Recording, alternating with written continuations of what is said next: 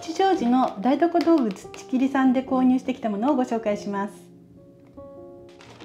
土切りさんに行った際の動画もあるのでぜひそちらも合わせてご覧くださいね。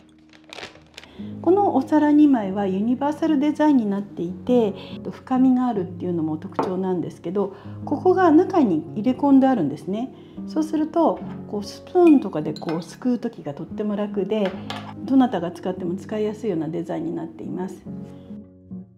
実はこのお皿は1歳の孫にプレゼントしたのですがすぐに上手に使えるようになっていました。デザインがいいのはもちろん電子レンジ食洗機 OK というのも魅力的ですよね。これはあのトングなんですけど紅茶のティーバッグをこう取り出してギューってするのってちょっとプチストレスじゃありませんか？このトングを使ったら取り出してきたティーバッグをそのままギュッとすればいいっていう紅茶用のトングですね。こちらはフルーツ用のいわゆる姫フォークですね。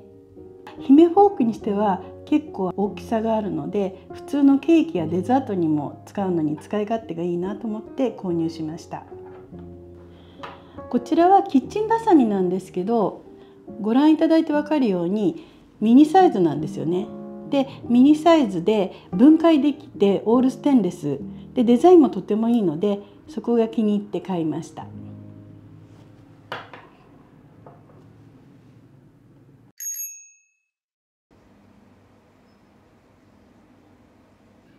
せっかくなので購入してきたティーバッグトングから使ってみようと思います。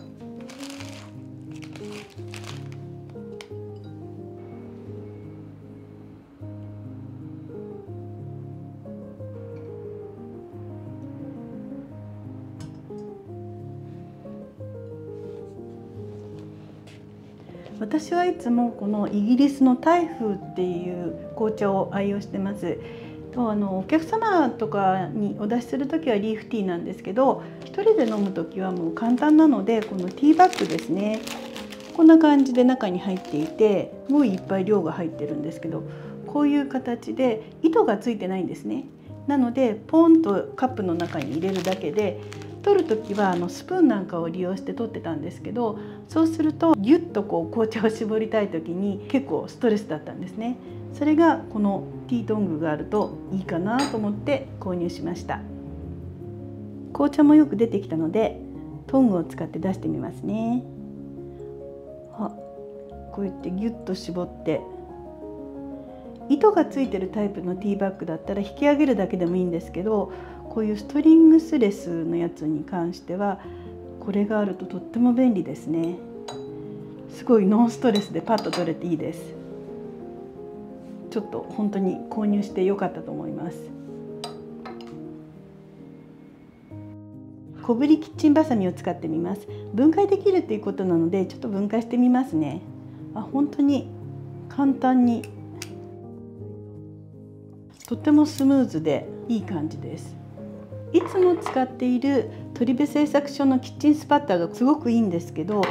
じゃあなぜこちらのちっちゃい方を買ったかっていうと刃がこう薄くて尖ってるんですね。細かいこうものを切る時にこのわざわざ大きなキッチンバサミを出さなくても例えば朝つきなんかをパパパパパッと小口切りにしたりとかそういうものに使いやすいかなと思って買ってみました。では実際の切れ味を試したいと思います。今日は焼き海苔を切ってみようと思います。おにぎり用の海苔なんですけれどもお蕎麦なんかにのせる時に細切りにしたいと思うのでそれ用に細く切ろうと思います。なんかすごい気持ちのいい切れ味です。でこれ今あの重ねて4枚になってるんですけど切ってきますね。あすごく細く切れます。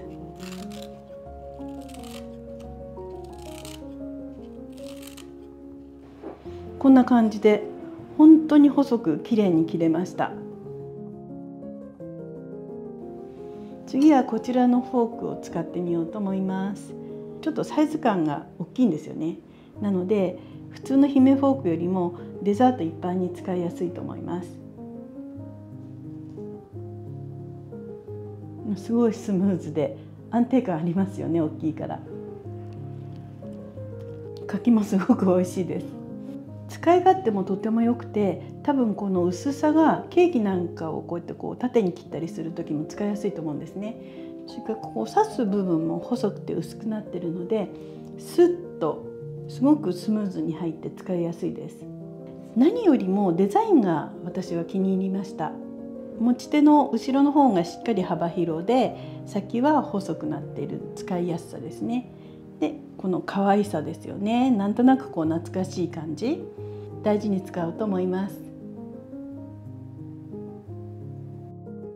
ということで今日の動画はここまでです。よかったらチャンネル登録とグッドボタンもよろしくお願いします。それでは最後までご覧いただきありがとうございました。次回の動画でお会いしましょう。また見てね